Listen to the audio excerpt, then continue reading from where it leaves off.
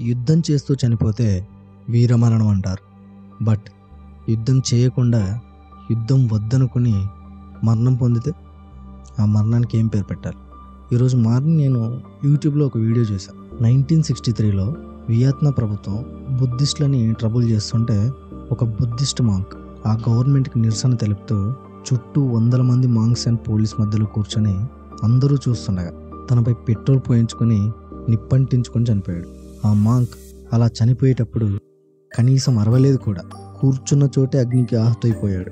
అలా చేయడానికి ఎంత సెల్ఫ్ విల్ ఆర్ డెసిసివ్నెస్ కావాలి? మీరే ఆలోచించండి. ఆ మాంక్ యుద్ధం చేతకా కాదు యుద్ధం వద్దనుకొని చంపాడు.